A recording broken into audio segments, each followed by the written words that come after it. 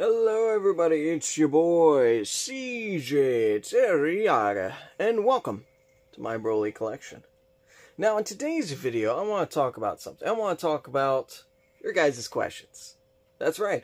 So, a few uh, a few videos ago, I asked you guys about some questions you guys may have. Well, um, I also went to Discord and asked for their questions from different servers that I am a part of. And luckily, I was able to get a few questions. And some of these I really would like to answer because they're really fun.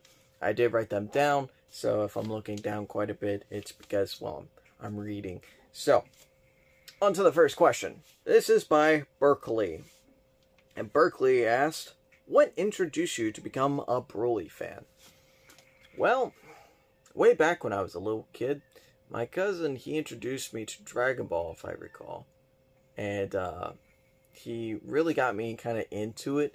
And ever since then, I've been a, a fairly decent fan. I've been on Dragon Ball on and off, but at the very start, I saw Broly and I thought he was the coolest character I've ever seen, and I really liked him. And uh, well, many years later, up until 2018, that really uh, that really blew up. And yeah, that's how I became a Broly fan. On to the next question. And this is by Azurite Rabbit. Thanks again, Azurite Rabbit, for your uh, for your question, as well as you, Berkeley. And Azurite Rabbit wrote, My question for Broly fans is usually, colon, how did you end up liking the character, and what made you decide to start a collection? Well, let's start off with the first question. So, how I ended up liking the character. Now, you might think that might be similar to the first question, but actually, no. Uh, how I ended up liking the character was his eyes. I know. it's his eyes. Um, the reason being was because growing up, I was a big WWE fan. And if you know about WWE, then you might know about a particular character by the name of Undertaker. And I'm going to put some pictures on the screen here now. But Undertaker, he had this trait throughout most of his career where he would roll his eyes back and his eyes would go white. And I thought that was so cool. He was my favorite wrestler and his eyes were white and I really liked WWE. That I mean that wasn't the only factor, just Undertaker was a really gothic character and I really liked that aesthetic. And I thought it was such a cool and interesting character and he was a really good fighter and uh, it was just really entertaining to watch him wrestle as well as plenty of the matches he's been in and the storylines. So when I saw Broly, I instantly associated his plain white eyes with Undertaker's white eyes, the lack of pupils. And I thought, that is so cool. And then I got, you know, I grew up and then I look back at the character. I'm like, dude, this character's so cool. His design's very unique, so interesting. His dialogue is just so psychotic and maniacal. I love it. He's just a genuinely cool character. He's what a, a DBZ villain should be. At least the first one, the, the first Broly movie. There two. Nah. Alright, as far as the second question, what made you decide to start a collection? Well, I've gotten one or two Broly items uh, for, you know, forever. Um, like when I was a little kid, I got the Good and Evil Jakks Pacific double pack when I was like really young, and that would technically be my first Broly figure ever. Uh, but I don't know where it is, and if I knew where it was, I would be displaying it with the collection. But I do plan on getting it again eventually. But regardless, um, and that was the first time I got a Broly figure, and then in 2018. I got a Broly. Uh, actually, prior to 2018, it was between 2017 and 2018 but I got a Broly statue, which I actually do have, and I can go ahead and show you.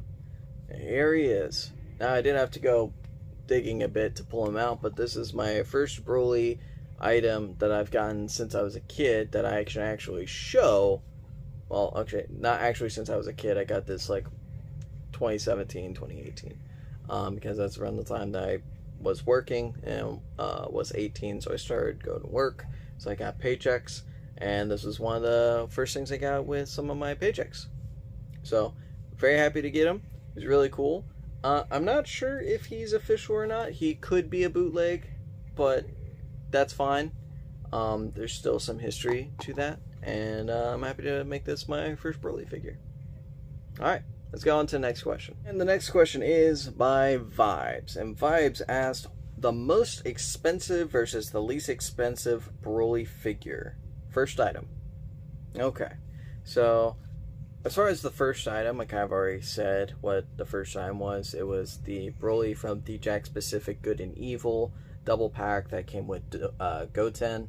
Um, I'm not, I might still have the Goten, but I don't know where the Broly is. So that statue I just showed you, that is my first uh, Broly item that I can show.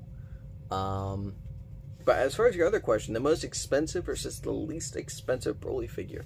Uh, the most expensive Broly figure, singular, that would be, it would be my San Diego Comic Con exclusive uh, Funko Broly Pop signed by Vic Mignogna. Not the Summer Collection one, or the Summer Convention one, no, it's the San Diego Comic Con one, as well as the SH Figuarts DBC Broly. Um, both these figures, I, I actually believe I got this guy for a hundred seventy maybe, but I think I might have gotten him for two hundred twenty. I'm not sure. That's been a very long time. But the uh, San Diego Comic Con, I do know I got for like two hundred and twenty dollars for the uh, Funko Pop. I know it's a lot spending for just a Funko Pop, but it's Broly, and it's a Broly I didn't have. Plus, it's signed by by Vic, and I knew that the Funko Pop was really expensive. So to me, it was an instant buy as soon as I saw it. Um, now, biggest purchase. I know that wasn't quite your question, but there is a difference between biggest purchase. My biggest purchase was the $500 I spent to get all the movie collection Broly's I own, minus the one out of package.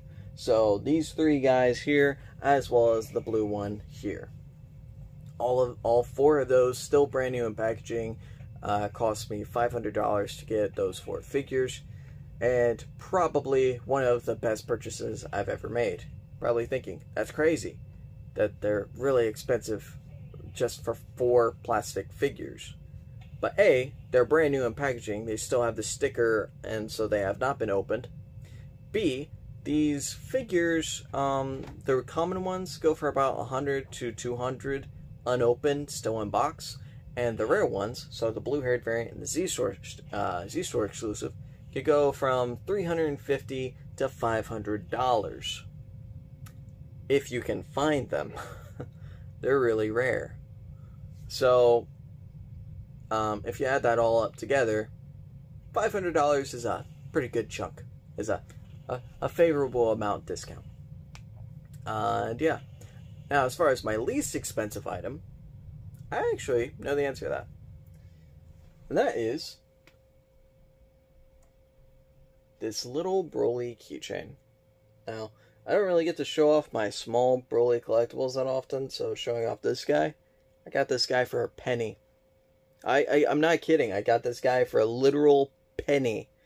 Um, that's excluding tax and shipping and all that. But uh, overall, it came up to like I think about a dollar or something like that. But this guy was up for a bid, and the bidding price was a penny. So I bid that, and I got it. So this is literally my most inexpensive Broly figure I've ever gotten. That's truly incredible. I mean, to get this guy, you would at least have to pay 25 cents or more. And uh, yeah, I think that covers all the uh, the least expensive and most expensive regarding to your question vibes. Let's go on to the final question. Fletch QC asked, important question that needs to be featured in your YouTube video. Where Puar?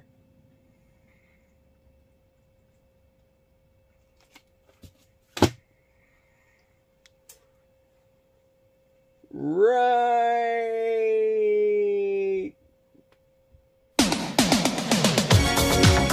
there. No, I'm kidding. Um, no, here, here's a picture of Puar for you, uh, Fletch, just to just to appease the Fletch Puar fan out there, And uh, yeah, all right. Um, I think that's it for the video. Not really a whole lot to talk about, but if you guys have any more questions, please feel free to write them down in the comments below. I'm more than happy to have my brain picked about this character or my experiences with this character or just information about the collection itself. But yeah, hope you guys take care. I'll see you guys in the next one. Bye bye.